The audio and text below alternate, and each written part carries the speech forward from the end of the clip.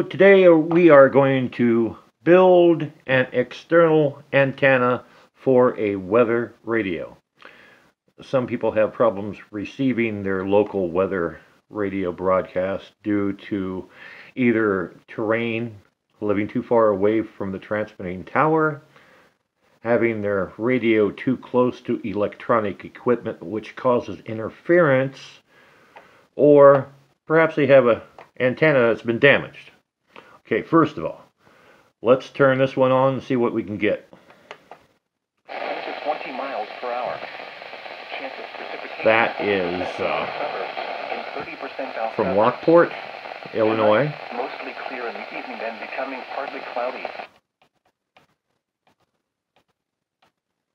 And that's from downtown Chicago. Anyway, Saturday. That's with the antenna all the way down. Let's deploy the antenna all the way up. Limited fog See what we get. All the way up. Sunday. Limited all right, all the way up. It is. Do it again. Nothing on 40. 162.40. That's channel 1. Channel 2. Mostly cloudy with rain. That's Lockport. Areas of fog. 3. Something barely far, far away. Four. Nothing. Five. Yes, a little bit. That's from LaPorte, Indiana. LaPorte, Indiana. Nothing there. And 55. At 2 p.m. at O'Hare Airport. Okay, fine. All right. Say there's a damage to the antenna. So let's hobble this radio by removing its antenna. The wind was southwest at 14 miles an hour, gusting to 24. The pressure was 29.64 inches and rising. Right, so. Elsewhere around the region. Well, it doesn't want to come out. Airport, it was partly sunny. All right, there it is. 63. It's been hobbled. It cloudy. Hobbled. All right. Airport, Still getting uh, 5.5 because it's a very strong station, very tall antenna. Let's see what goes on at 4.25. Nothing. Well, a little. Anyway, let's check that up. What we need to do is to replace the antenna. Okay. Um, you can do this by either just stripping one wire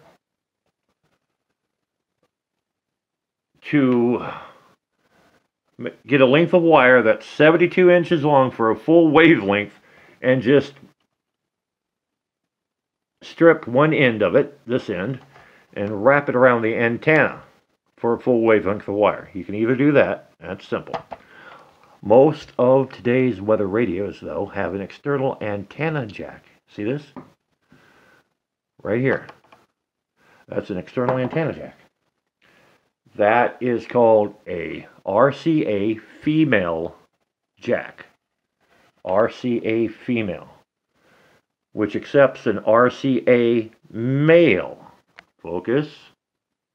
RCA male, otherwise known as a patch cord. Plugs right in here. All right. Okay. Get a length of patch cable, RCA cable, you can either buy these new, or what I do, I go down to the Salvation Army, or Focus, or like the Goodwill. They have loads of them there, cheap, or you can buy them at Walmart or buy them online. Alright, to make a proper antenna, we're going to have to take one of these connectors off. Alright, got to cut it off. Ugh. Right, now we have to strip it. There's two electrical connections in this. One in the center and one in the shield. Let's try to do this without harming myself. Very carefully remove the outside insulation. Carefully. Oh.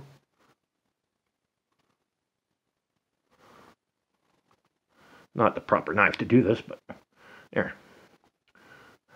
Outside insulation. Focus. Focus on me. Alright. Anyway, very carefully remove, well, the shield. take the shield away from the main conductor. Focus. Alright.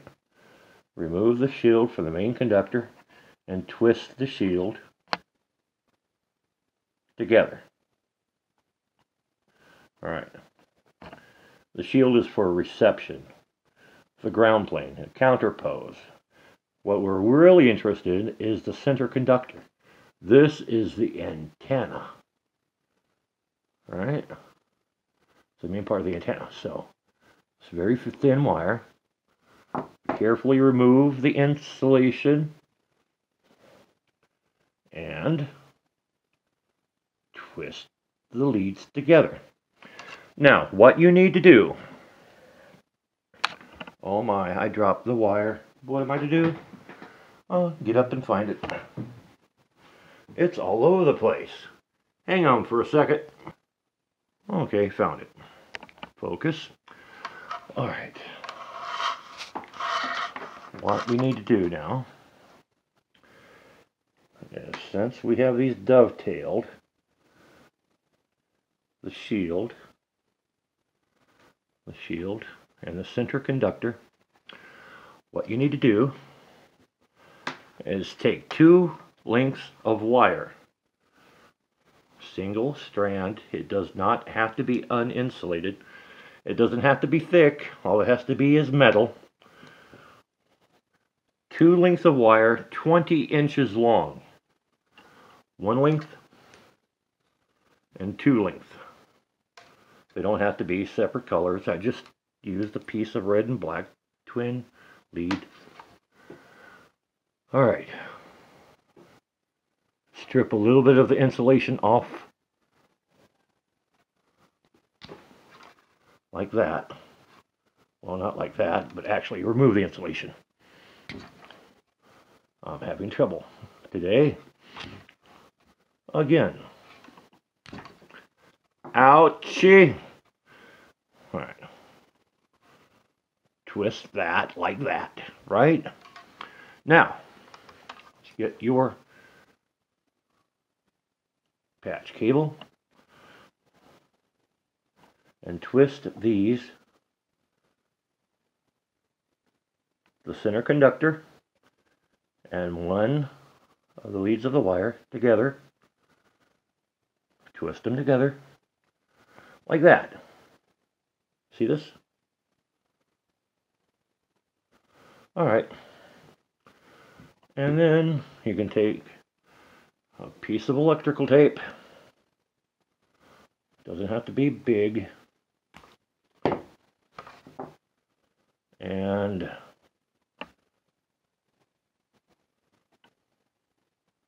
focus. You focused? Can't really tell. And make sure you insulate the center conductor.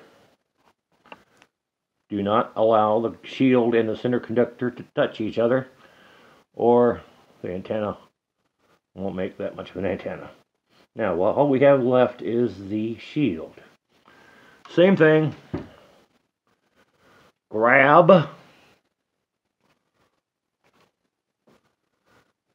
the other pieces of wire and mm, remove the insulation. Almost.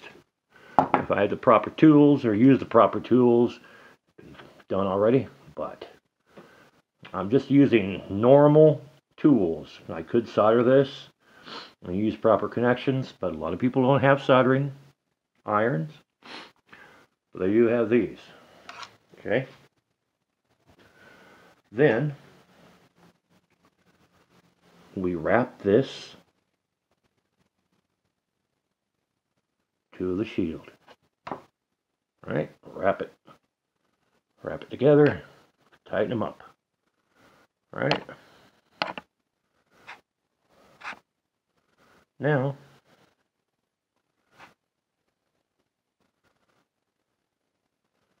now I get a piece of electrical tape, or any kind of tape, any kind of insulation tape. It doesn't have to be black electrical tape. It can be scotch tape. We're not actually using any kind of voltage through this. We're just using it as a receiving antenna.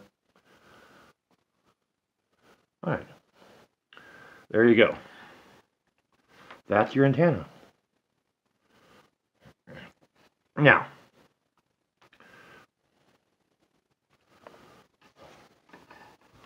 one end of, well, this is the main radiator.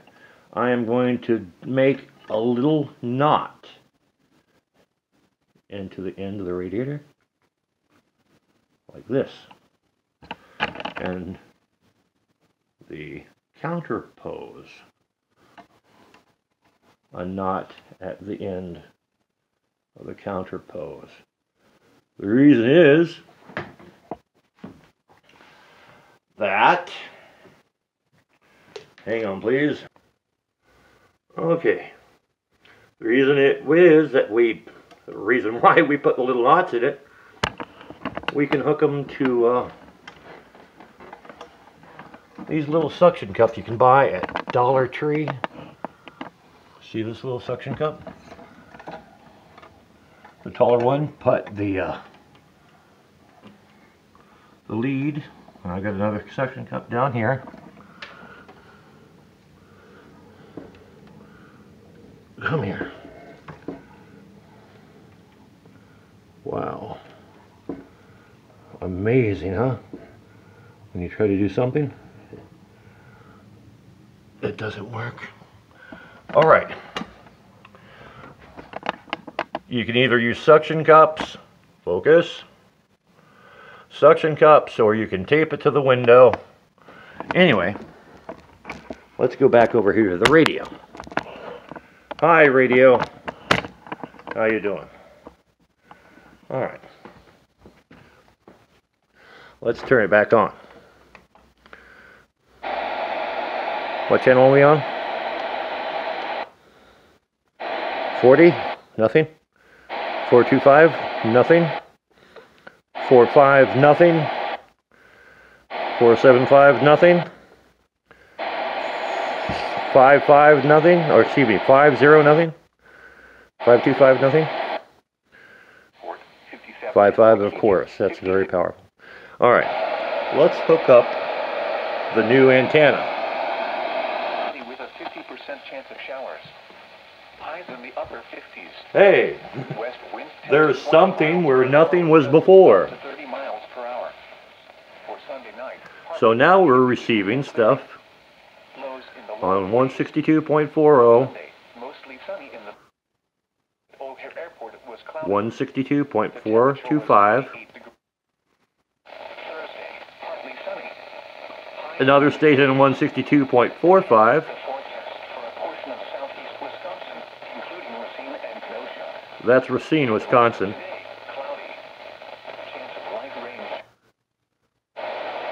And nothing on 475. Ah, that's LaPorte, Indiana. And plus another station behind it. There's two stations on one. You can hear the main one and a distant one.